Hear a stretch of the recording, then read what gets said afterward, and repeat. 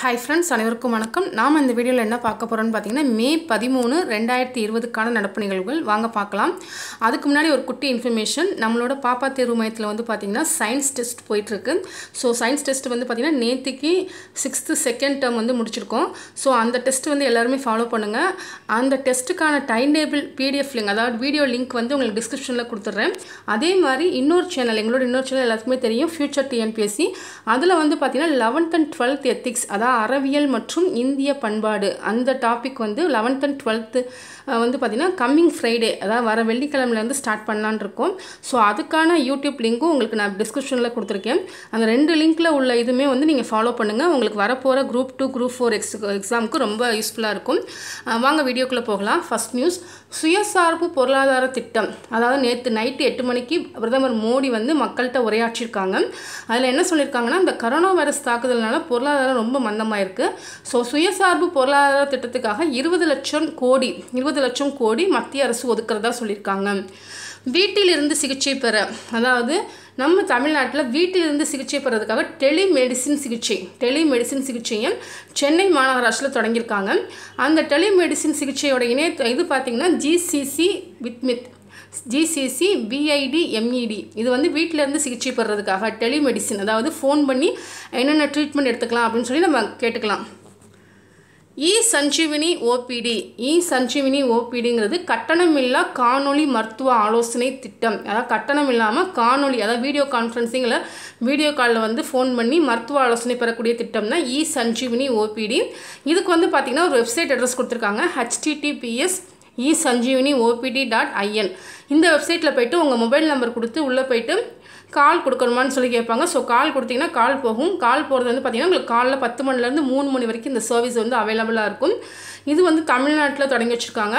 இதில் வந்து சப்போஸ் நீங்கள் குரல் வழி சேவை அதாவது கூகுளில் போயிட்டு வெப்சைட்டில் போயிட்டு இந்த சேவை பெறுறதுக்கு பதிலாக குரல் வழி சேவை அதாவது ஐபிஆர்லேயும் நீங்கள் வந்து பெறலாம். இது இதுக்கான நம்பர் வந்து nine four triple nine one two three four five nine four triple nine one two three four five நெட்டி வேலைப்பாடு அதாவது நெட்டி வேலைப்பாடு மற்றும் மர சிற்பம் இந்த ரெண்டுக்கும் வந்து புவிசார் குறியீடு கொடுத்துருக்காங்க. இந்த நெட்டி வேலைப்பாடுக்கு எந்த ஊர் சிறந்த ஊர்னு பார்த்தீங்கன்னா தஞ்சாவூர். தஞ்சாவூரை சேர்ந்த நெட்டி வேலைப்பாட்டுக்கும் அதே மாதிரி அரும்பாவூர் அரும்பாவூரை சேர்ந்த மர சிற்பத்திற்கும் புவிசார் குறியீடு கொடுத்துருக்காங்க. இதுக்கு புவிசார் குறியீடு பெறுறதுக்காக ரெண்டாயிரத்தி பதிமூணுலேயே அப்ளை பண்ணியிருக்காங்க. இப்போ தான் புவிசார் குறியீடு கொடுத்துருக்காங்க. ஸோ நெட்டி வேலைப்பாடுக்கு தஞ்சாவூருக்கும் மர சிற்பத்துக்கு அரும்பாவூருக்கும் கொடுத்துருக்காங்க. கங்கையம்மன் திருவிழா. கங்கையம்மன் திருவிழா எங்கே நடைபெறும்னா சித்தூர் அதாவது ஆந்திராவில் இருக்கக்கூடிய திருப்பதி. திருப்பதி வந்து சித்தூரில் தான் இருக்குது ஸோ சித்தூர் பகுதியில் எப்பயுமே கங்கையம்மன் திருவிழா வருஷம் வருஷம் வந்து பார்த்திங்கன்னா மே மந்தில் நடைபெறும். இந்த வருஷம் வந்து இன்னும் ரெண்டு மூணு மாதம் கழித்து நடைபெறும் அப்படிங்கிற மாதிரி சொல்லியிருக்காங்க. நூற்றி எண்பத்தி ஏழு நூற்றி எண்பத்தேழு ஆண்டுகளில் இதான் ஃபஸ்ட் டைமாக இந்த கங்கையம்மன் திருவிழாவை போஸ்ட்போன் பண்ணியிருக்காங்க.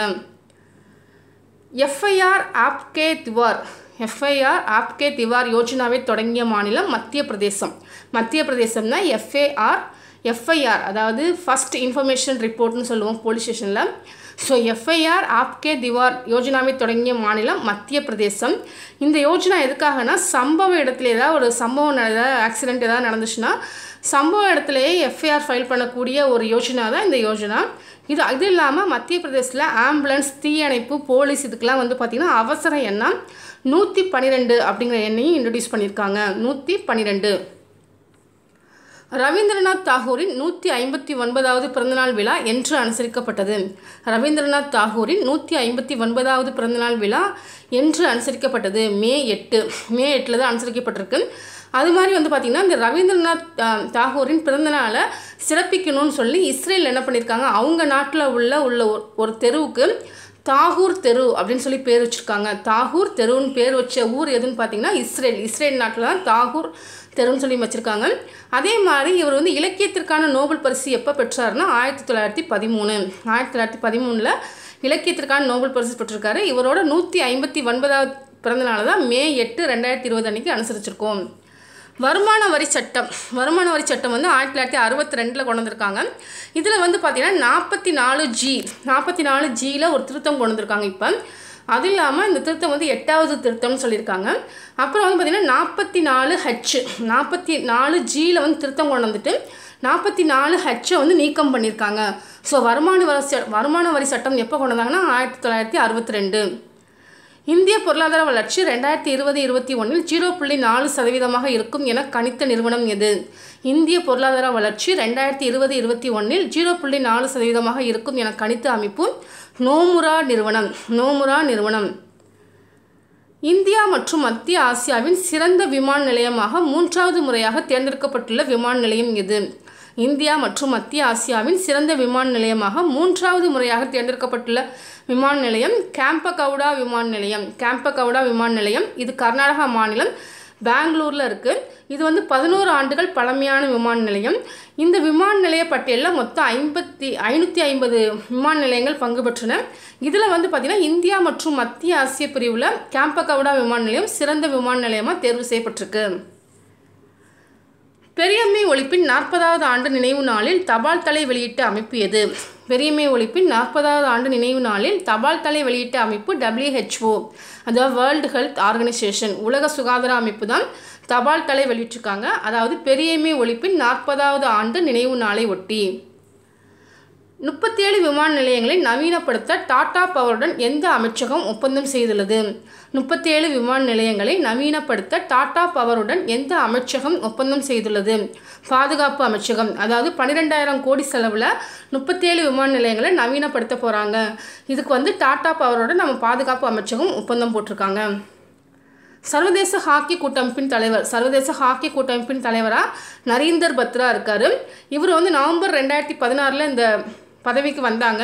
இவங்களோட பதவியை இன்னொரு ஒரு வருஷத்துக்கு எக்ஸ்டெண்ட் பண்ணியிருக்காங்க. ரெண்டாயிரத்தி இருபத்தி ஒன்று வரைக்கும் இவர் இந்த பதவியில் இருப்பார் அப்படிங்கிற மாதிரி சொல்லியிருக்காங்க.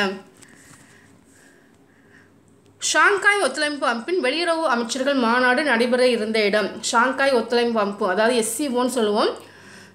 சாரி எஸ்சிஓ எஸ்சிஓ அமைப்போட வெளியுறவு அமைச்சர்கள் மாநாடு எங்கே நடைபெற இருந்ததுன்னா ரஷ்யாவோட தலைநகர் மாஸ்கோ. ரஷ்யாவோட தலைநகர் மாஸ்கோவில் அடுத்த மாதம் ஜூன் ஒன்பது பத்தில் நடைபெற இருந்தது ஆனால் இந்த கரோனா தாக்குதல்னால என்ன பண்ணியிருக்காங்கன்னா இதை வந்து கான்ஃபரன்சிங் மூலமாகவே நடத்தலாம்னு முடிவு பண்ணி இப்போ நடந்துருச்சு. சரிங்களா? அந்த கான்ஃபரன்ஸ் வந்து நடந்துருச்சு. இதில் வந்து பார்த்திங்கன்னா இந்தியா சார்பாக இந்திய வெளியுறவுத்துறை அமைச்சராக இருக்கக்கூடிய ஜெய்சங்கர் அவர் வந்து பார்ட்டிசிபேட் பண்ணியிருக்காங்க அது மாதிரி இந்த எஸ்சிஓ அதாவது ஷாங்காய் ஒத்துழைப்பு அமைப்போட உறுப்பு நாடுகள் மொத்தம் எட்டு. இதில் வந்து இந்தியா மற்றும் பாகிஸ்தான் ரெண்டாயிரத்தி பதினேழில் ஜாயின் பண்ணியிருக்காங்க ரெண்டாயிரத்தி பதினேழில் இந்தியா மற்றும் பாகிஸ்தான் எஸ்சிஓவோட உறுப்பு நாடுகளாக சேர்ந்திருக்காங்க. ஸோ அந்த எட்டு உறுப்பு நாடுகள் என்னென்னு பார்த்தீங்கன்னா China Russia India Pakistan Kazakhstan Kyrgyzstan Tajikistan Uzbekistan. இந்த எட்டு நாடுகள் தான் எஸ்சிஓவோட உறுப்பு நாடுகள்.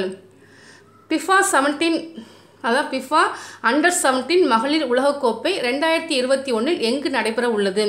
பிஃபா அண்டர் செவன்டீன் மகளிர் உலகக்கோப்பை ரெண்டாயிரத்தி இருபத்தி ஒன்றில் எங்கு நடைபெற உள்ளது நம்ம இந்தியாவிலேருந்து நடக்க போகுது அதாவது பிப்ரவரி பதினேழு ரெண்டாயிரத்தி இருபத்தி ஒன்று முதல் மார்ச் இருபத்தி ஏழு ரெண்டாயிரத்தி இருபத்தி ஒன்று வரைக்கும் பிஃபா அண்டர் செவன்டீன் மகளிர் உலகக்கோப்பை நம்ம இந்தியாவில் நடக்க போகுது. இந்தியாவில் ஃபைனல்ஸ் வந்து எங்கே நடக்க போகுதுன்னு பார்த்தீங்கன்னா நவி மும்பை. நவி மும்பையில் தான் இந்த உலகக்கோப்பையோட ஃபைனல்ஸ் நடக்கும்னு சொல்லியிருக்காங்க. ஓகே ஃப்ரெண்ட்ஸ் இந்த வீடியோ பிடிச்சிருந்தா லைக் பண்ணுங்கள் ஷேர் பண்ணுங்கள் தேங்க்யூ